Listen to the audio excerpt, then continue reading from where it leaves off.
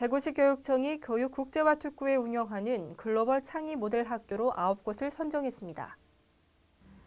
대구시 교육청이 초등학교 4곳과 중학교 5곳 등 모두 9개 교를 대구 국제화 특구 글로벌 창의 모델 학교로 선정했습니다. 북구에서는 옥산초와 학정초, 강북중과 서변중 4개 학교, 달서구에서는 성곡초와 성남초, 대서초, 그리고 효성중과 와룡중 5개 학교가 시범 학교로 뽑혔습니다.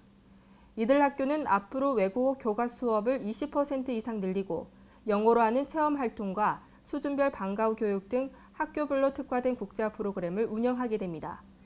교육청은 2017년까지 이 같은 시범 학교를 26곳까지 확대하는 한편 2015년에 갇힌 대구형 국제고, 2016년 대구 국제직업고 신설을 목표로 예산 확보에 나설 예정입니다.